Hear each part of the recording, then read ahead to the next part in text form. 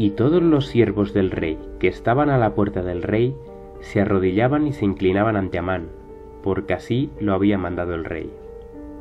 Dentro de poco tiempo, esta misma orden que se promulgó en Persia se promulgará en todo el mundo. El libro de Esther dice que el sistema político engrandeció al poder religioso para que Amán fuera adorado, y Apocalipsis nos profetiza que lo sucedido en Persia se repetirá a gran escala. Del mismo modo que Mardoqueo ni se arrodillaba ni se humillaba ante Amán, habrá un pueblo fiel que solo adorará y se arrodillará ante Dios, un pueblo que guardará la ley de Dios y obedecerá el mandato del verdadero rey en todo, incluyendo el cuarto mandamiento.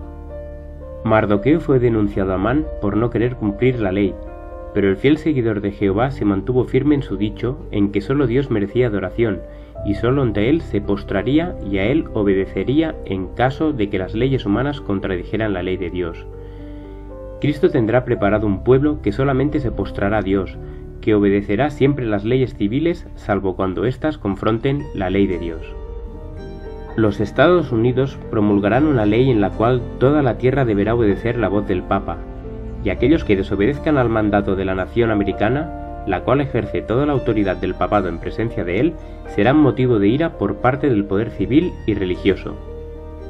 Dice el libro de Esther que Amán, al no recibir adoración de Mardoqueo, se llenó de ira y procuró destruir a todos los judíos que había en el reino de Asuero.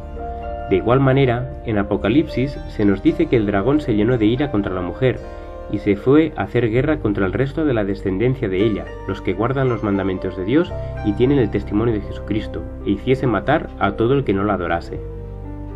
El papado promulgará una ley de observancia del domingo, marca de su autoridad y supremacía, y todos aquellos que no obedezcan su voz serán perseguidos, multados, encarcelados y finalmente muertos.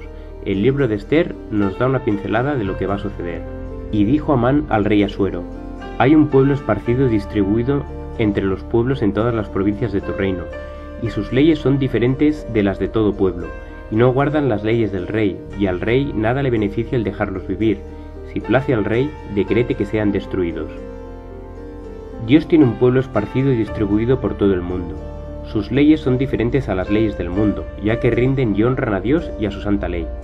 Pregonan allá donde van que el sábado instituido por Dios sigue vigente y que el papado pide la adoración cuando solo Dios la merece, y la pide en un día que no tiene más autoridad que la del hombre.